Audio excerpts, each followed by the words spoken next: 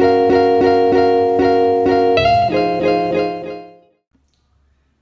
guys, Walker Peak here with Commercial Acoustics. Today we're going to show you how to install acoustic ceiling clouds in a conference space or other open office space to get rid of that annoying background echo or reverberation that's disturbing and annoying your employees. So you can really tell how reverberant it is in here now. With the concrete floors and ceilings, gypsum walls, and glass, uh, you get a lot of reverberation buildup in a space like this. So we came in a few weeks ago and determined that they needed about 100 square feet of acoustic treatment based on Sabine's calculation to meet their reverb time requirements. To measure the reverb, we generate an impulse noise.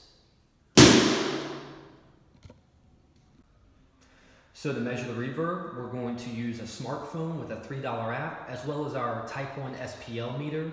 Costs about $5,000 to be calibrated. And um, we're going to do these simultaneously to see how accurate your smartphone can be for reverb tests.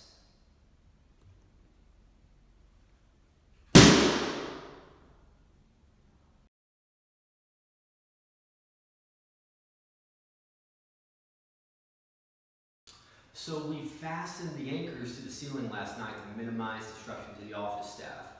We use Rotofast anchors on the back of each panel to give it four fastening locations to give you a nice smooth horizontal finish.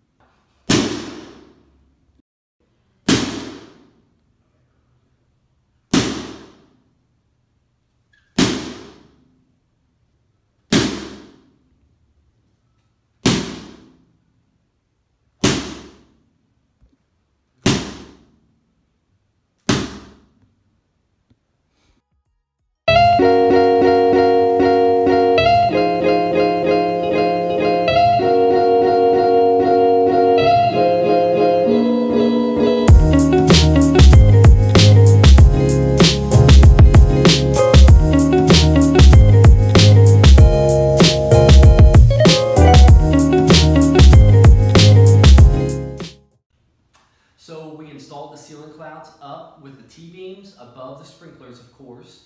And as you can tell, the aesthetics in the room look great and the acoustics are so much better.